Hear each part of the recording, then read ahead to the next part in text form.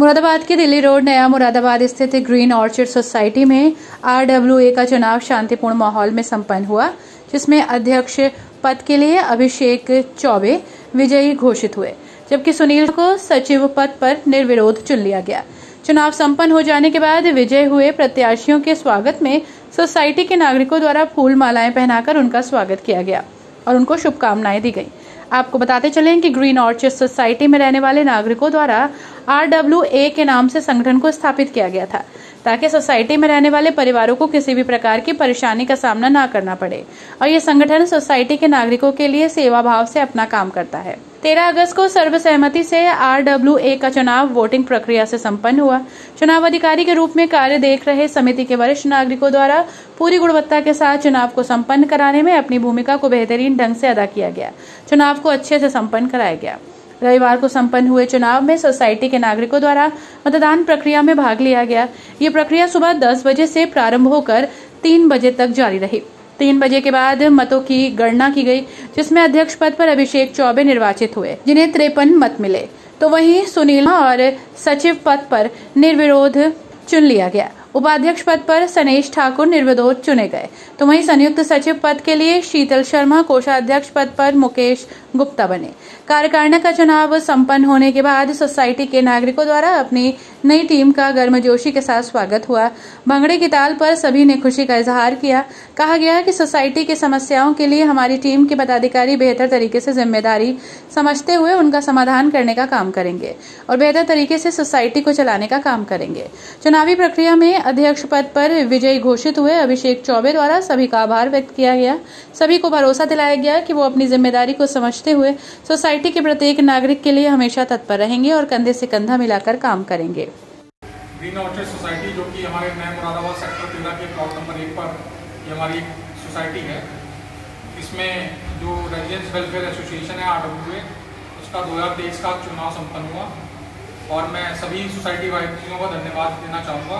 उन्होंने अपने बहुमूल्य मत देकर मुझे सोसाइटी के अध्यक्ष पद के लिए चुना। मेरे साथ आदरणीय सुनील अग्रवाल जी को कल ही निर्विरोध सेक्रेटरी के रूप में चुना गया था और उनके बाद हमारे कोषाध्यक्ष श्री मुकेश गुप्ता जी भी निर्विरोध चुने गए थे। साथ में उपाध्यक्ष बड़े भाई सनेश ठाकुर जी भी निर्विरोध कल चुने गए थे और आज मेरे साथ जो चुनाव हुआ, उसमें मैं अध्यक्ष पद पर चुना गया और हमारे बड़े भाई शीतल शर्मा जी जो हैं, वो संयुक्त सचिव के पद पर आज विजयी हुए हैं।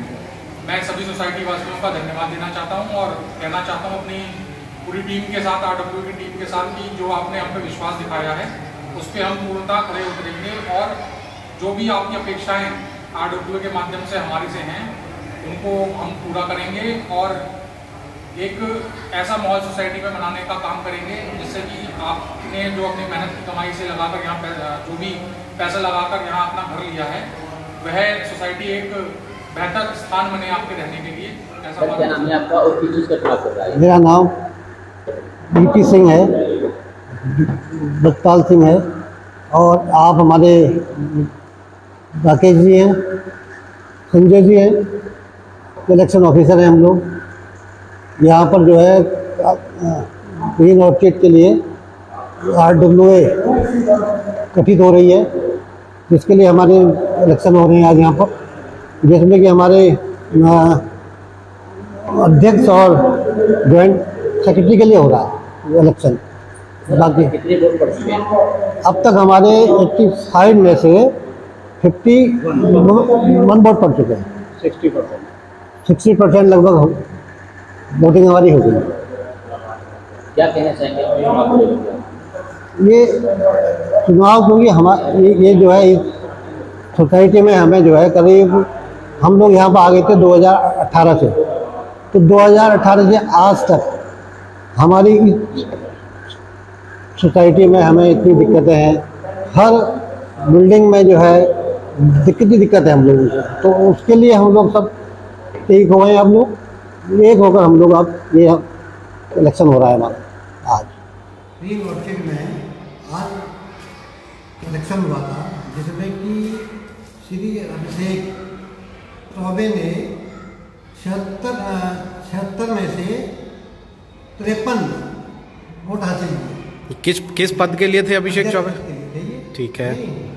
और दूसरा जो इलेक्शन हुआ था वो ज्वाइंट सेक्रेटरी के लिए हुआ था जिसमें कि शीतल शर्मा ने छिहत्तर में से अड़तालीस वोट और और यहाँ पर हमारे यहाँ पर उपाध्यक्ष मैं श्री सुरेश ठाकुर जी और कोषाध्यक्ष में मुकेश गुप्ता जी और सचिव। सचिव पद पर सुनील अग्रवाल जी निर्विरोध। चयनित हुए